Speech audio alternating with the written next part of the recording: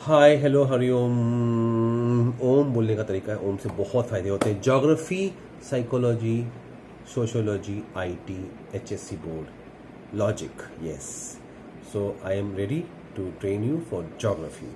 geography H S C board no S C board has a fix pattern and you have to follow it I will be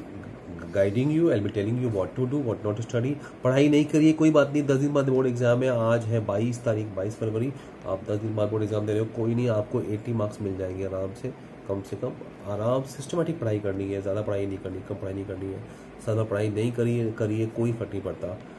Geography is very easy and doable specifications होते हैं, कुछ चीज़ें होती हैं, तय, वही आपको करनी है। जस्ट मुझे आप पोस्टिंग करते जाइए, बताइए क्या चाहिए और हम आपको जॉब देंगे। Thank you